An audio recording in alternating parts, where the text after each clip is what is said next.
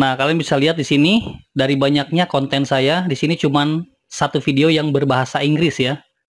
Yang lain ini bahasa Indonesia ya. Jadi ini adalah tips dan juga cara sederhana supaya kita bisa mendapatkan penonton atau viewer dari luar negeri guys. Jadi caranya seperti ini. Nah, untuk konten tutorial kali ini saya akan sedikit memberikan tips ya agar kita bisa mendapatkan penonton atau viewer dari luar negeri. Dengan catatan pajak Google AdSense kalian udah terisi ya. Karena otomatis kalau kita mendapatkan viewer dari luar negeri, khususnya dari Amerika Serikat, maka potongan pajaknya akan lumayan gede kalau kita nggak ngisi pajak Google AdSense. Nih, sekarang kalian bisa lihat di sini, ini ada konten-konten yang berbahasa Indonesia, tapi ada salah satu yang berbahasa Inggris. Jadi ketika orang luar negeri e, melihat konten saya dengan berbahasa Inggris seperti ini ya, misalkan dari Malaysia atau negara lain, nah ini akan diklik ya, ya mudah-mudahan diklik lah. Jadi di sini gua cuman targetkan di judul dan juga deskripsi ya, tapi untuk e, subtitle bahasa Indonesia ini, ini belum dirubah ke bahasa Inggris. Jadi caranya seperti ini teman-teman ya. Nah di sini jika kalian udah buka dashboard YouTube-nya, terus konten kalian ini udah di-upload. Nah kita akan e, cari ya salah satu video sebagai contoh. Kita akan cari satu konten yang akan dirubah ke bahasa Inggris ya. Misalkan yang ini, kita klik aja di bagian sini nih, detail. Nah kemudian di sini ada subtitle. Nah, lalu di bagian sini, ini kita pilih bahasa kedua ya. Untuk bahasa Indonesia ini bahasa pertama, dan bahasa kedua kita bikin bahasa Inggrisnya ya untuk title dan juga deskripsi. Jadi kita tinggal klik aja di sini. Nah, terus kalian cari bahasa Inggris ya atau English. Nih seperti ini ya, pilih. Setelah itu kalian pilih yang title deskripsi ya. Kita add aja di sini. Kalau kalian bisa membuat subtitle bahasa Inggris untuk video yang kalian bisa bikin di sini ya.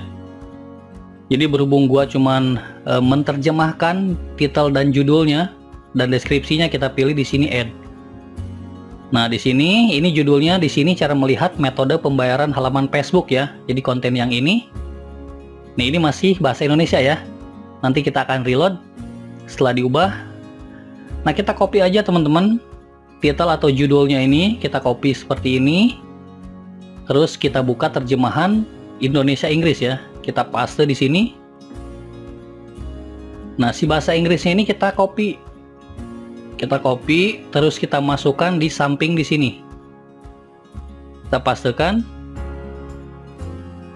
Lalu untuk deskripsinya juga sama ya. Di copy aja. Lalu di sini kita rubah. Kita kopikan yang versi Inggrisnya. Lalu paste juga di sini di sebelahnya ya. Nah, jika udah selesai, klik aja publish. Nah, jadi kita udah punya dua bahasa ya, Inggris dan Indonesia. Ya, otomatis lah bawaan. Terus jika udah selesai, kita reload teman-teman ya. Kita reload. Nah, kalian bisa lihat ya. Di sini konten kedua saya ini udah formatnya udah berubah menjadi bahasa Inggris ya, judul dan juga deskripsinya.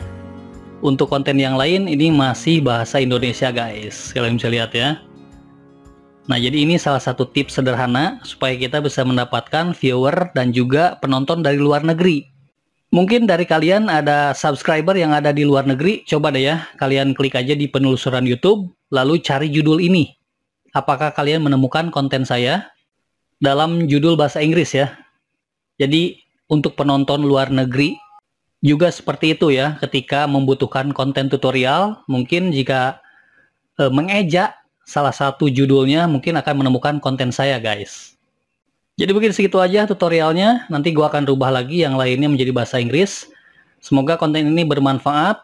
Kalau kalian masih bingung kalian bisa komen di bawah atau DM Instagram saya ya. Ini gua akan lanjut merubah menjadi bahasa Inggris.